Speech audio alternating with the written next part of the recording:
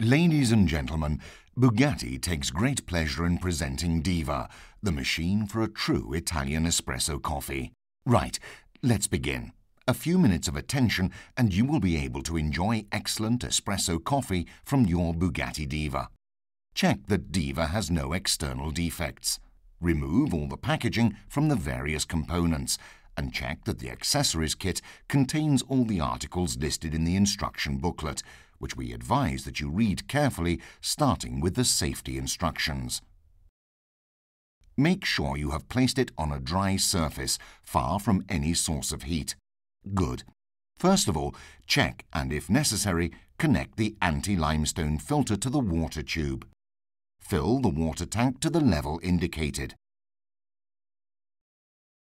Have you already plugged it in? Make sure that the socket in your house is earthed. Efficient. Open the knob on the steam valve, turning it anti-clockwise. No, I said anti-clockwise. And now turn it on. Now press the coffee button. That's the one. That's perfectly normal.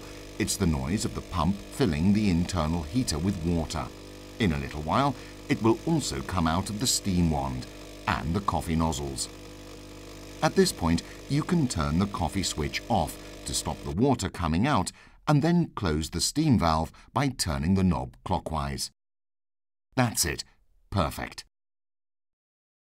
Leaving Diva turned on, the thermometer needle will enter the coffee cup zone and the water will soon reach operating temperature and will be kept constant, always ready, to give you an excellent espresso coffee. Precisely.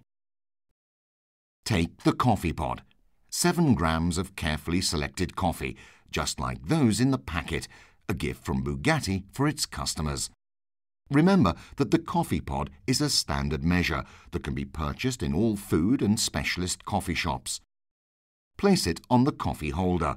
Fix the latter firmly in its seat and press the coffee button, marked with a cup. As you well know, Diva is equipped with all the accessories to enable its use with ground coffee too.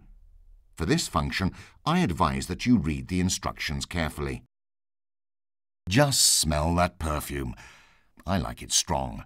Yes, just like the traditional espresso coffee machines in Italian bars, you are able to choose the strength and quality of your coffee.